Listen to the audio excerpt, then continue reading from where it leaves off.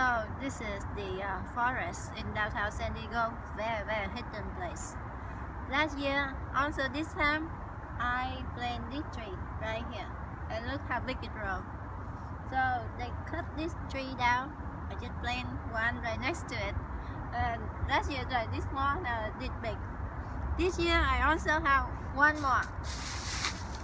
And we're gonna plant it over there where they chop down another tree.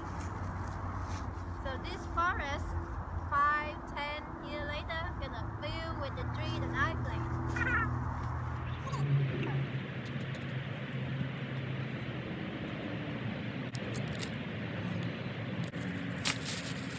So now this forest has two of my trees.